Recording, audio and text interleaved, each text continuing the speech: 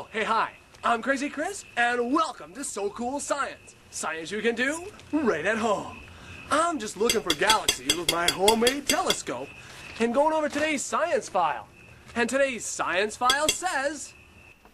How are we able to see our galaxy if we're inside it? Well, that's an astronomical question. I'm thinking, try this.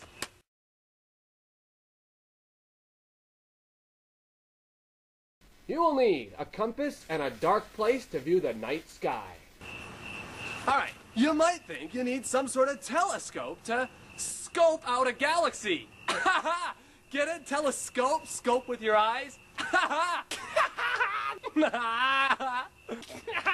but you'd be wrong. The reason is, is because you and I are on a planet that is in a galaxy called the Milky Way. No, no, there, there's no actual milk in the Milky Way. See, you're not gonna, you know, blast off, head down the Milky Way, come all the way back, then, you know, have like some sort of dairy gold mine, you know, because there's, there's no actual milk in the, you know, the, the Milky Way.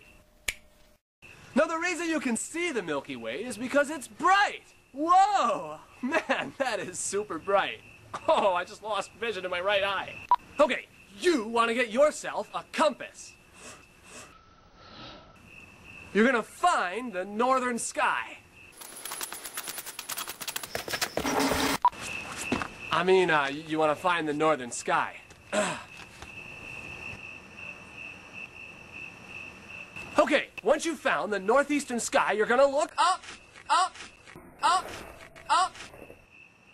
Whoa, it's the Milky Way! That's our galaxy! It's right there in front of us! Now that is why science is so cool! So, how can a person on a planet view the galaxy that they're in? Well, you don't need to go into space to take a closer look at this. Galaxies are giant clusters of hundreds of millions of stars that are all orbiting around a center point. Astronomers estimate that there are about 125 billion galaxies in our universe. Astronomers know that the Milky Strip across the night sky is part of our galaxy by looking at other galaxies using powerful telescopes. When we compare those galaxies to the Milky Strip across the night sky, those galaxies look almost exactly the same. The reason we know that the Milky Strip is part of our galaxy is because when we look at other galaxies, they don't look like Milky Strips in the night sky.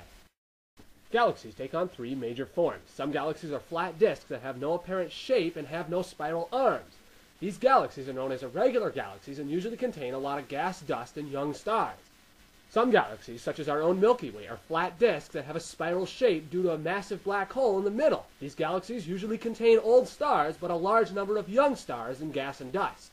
Some galaxies look like an egg shape and are known as elliptical galaxies. These galaxies usually contain old stars, little gas and dust, and very few new stars. Wow, now that's truly amazing. So now you know more about galaxies. You know, being able to see the Milky Way right at home is why science is so cool.